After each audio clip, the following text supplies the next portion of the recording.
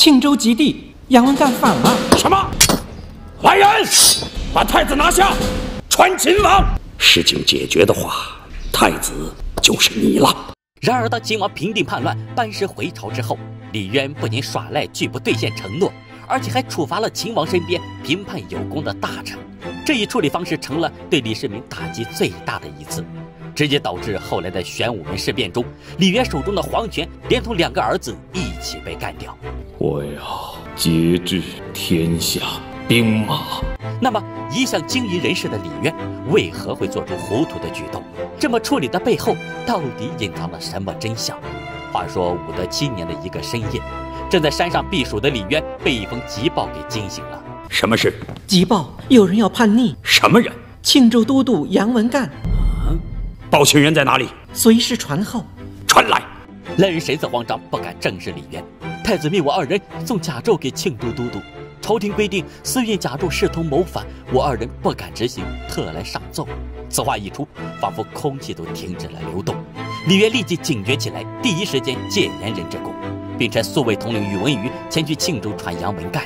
记住，不要说有人告发的事。又派人去传太子，要亲自质问于他。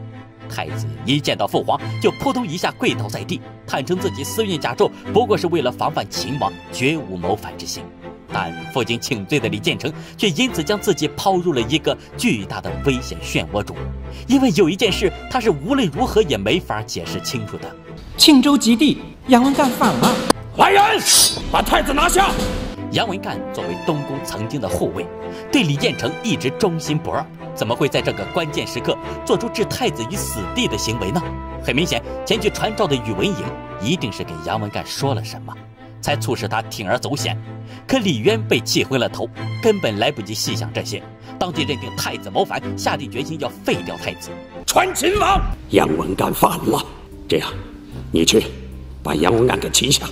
李世民故意装傻，杨文干这个小子，区区一个庆州都督，竟敢谋反，真是不自量力。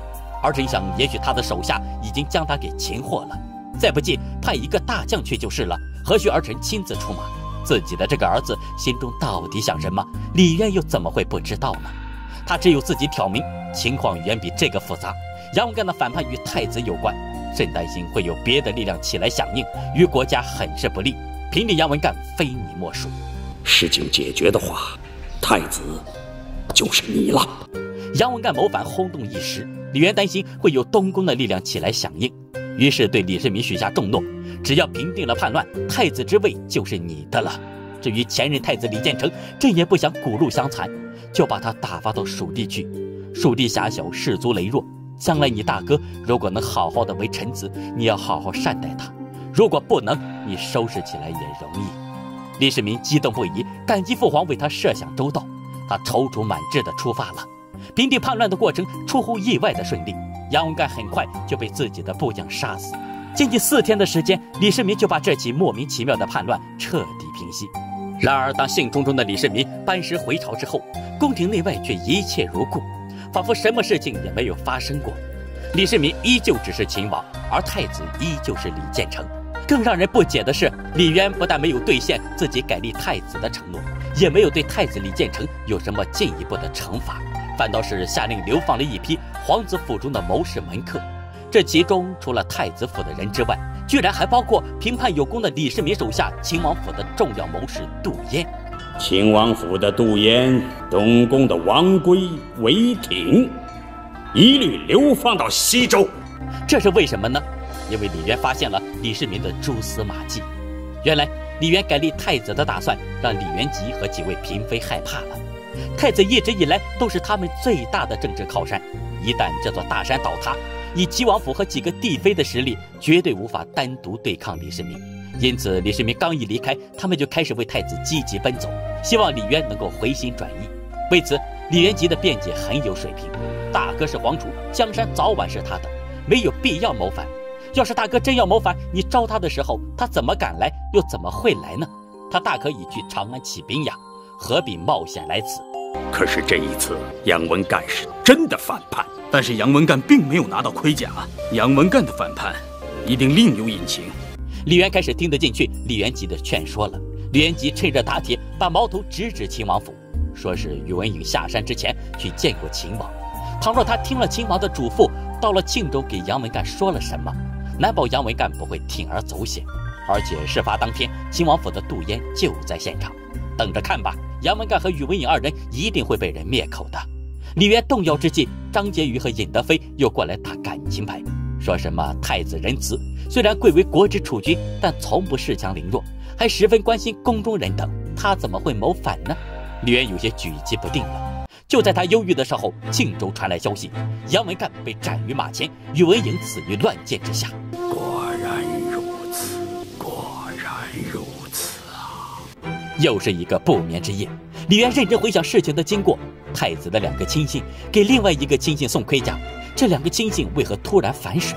另外一个亲信为何在见到皇帝的钦差后就立即发动了叛乱？这钦差对他说了什么？如果杨文干事件的幕后推手真的来自秦王府，那么整起事件的所有疑问就都有了合理的解释。这是李世民精心策划的一场针对太子李建成的凌厉攻击。在得知太子给杨文干私运甲胄的消息后，身为秦王府谋士的杜淹向李世民提出了一个将计就计的方案。先是由幽州都督席变出面拦下负责运送甲胄的东宫将领，然后再由杜淹出面威逼利诱买通他们，让他们告发太子。当皇帝李渊果然起疑心，下令幽禁太子，并派宇文颖奔赴庆州传杨文干来当面对质时，还是由杜淹出面设法怂恿宇文颖。又是对太子忠心耿耿的杨文干起兵救主，在做完这一切幕后工作之后，李世民再以平叛功臣的身份出现，与两军阵前干掉太子的死党杨文干，并人为制造一场意外，乱箭射死有可能泄露天机的宇文颖，最终得到父皇对自己的太子之位的承诺。虽然整件事情做得铁证如山，可惜最后还是被李渊识破。作为父亲的李渊，不能也不愿意对自己的两个嫡子。有什么严厉的惩罚？性情宽容的他所能做的，只是赶走儿子身边那些在他看来动机不纯的谋士，以此来作为一位父亲对儿子的警示。真很伤心呐，伤心到了没有勇气再查下去的地步。这件事到此为止吧。秦王府的杜淹，东宫的王圭、韦挺，一律流放到西周。太子。秦王有异议吗？轰动一时的杨文干事件，最终在不了了之当中画上了一个充满伏笔的省略号。杨文干事件是让李世民最接近权力核心的一次，因为父亲都许诺他了，只要你把事情干漂亮了，你就是新的太子了。但父亲最后却出尔反尔，成了对李世民打击最大的一次。